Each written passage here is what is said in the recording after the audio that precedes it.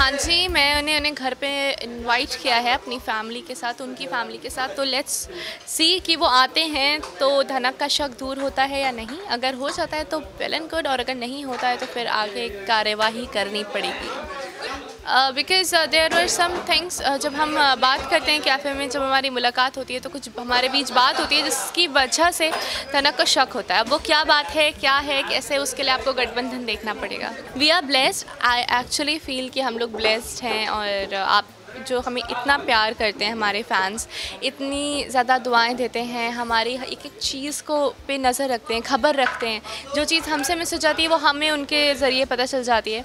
So I really feel that we are blessed to have fans like you people and lots of love with like I love you the bottom bottom bottom of my heart.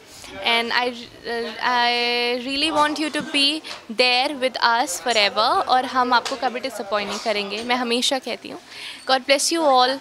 Thank you.